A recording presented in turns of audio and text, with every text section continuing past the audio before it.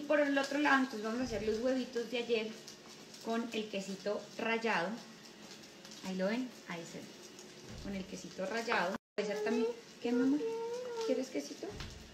Puede ser queso, queso, ¿qué? queso parmesano también, sino que a mí se me acabó el parmesano. Y con la salsa napolitana, la que tengan, si en la casa, si en, si en donde ustedes em, tienen, la quieren hacer, pues es deliciosa también y es muy fácil de hacer. Voy, mi amor. ¿Timbra? Pi. Es muy fácil. Yo tengo lista preparada salsa napolitana acá. Lo que hago es agregarla. Facilísimo.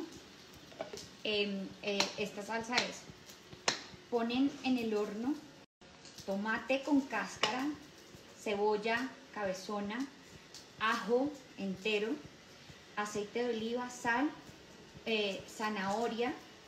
eh, yo le echo un poquito de mostacita, lo meten al horno por 25 minutos y luego lo ponen en una, en una licuadora o en un triturador, lo que tengan. Y listo. Queda buenísima. O si no, la que tengan. Y ahí Macarena se me va a comer todo, todo, todo el queso. ¿Está bueno el queso, Maca? ¿Sí? Entonces ahí, eh, ya cuando empiece a hervir un poquito, a reducirse un poquito, le echamos los dos huevitos. Cuando se esté reduciendo, vamos a partirle el huevo. Vamos a ver, esto es todo un reto. Partir el huevo acá con Macarena. Pude. Uno. El reto de partir el huevo con la niña cargada. Y dos. ¡Ah! Y quedaron perfectos. Listo. Les echamos el queso encima.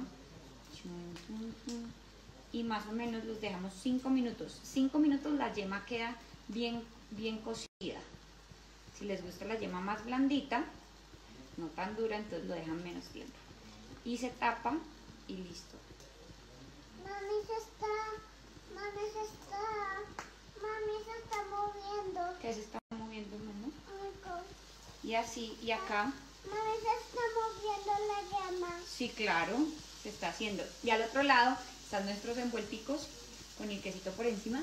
Pues así quedaron hoy nuestros huevitos napolitanos con el envueltico. ¿Qué estás comiendo? Cuéntale. Miren, no, yo no te las estoy tomando.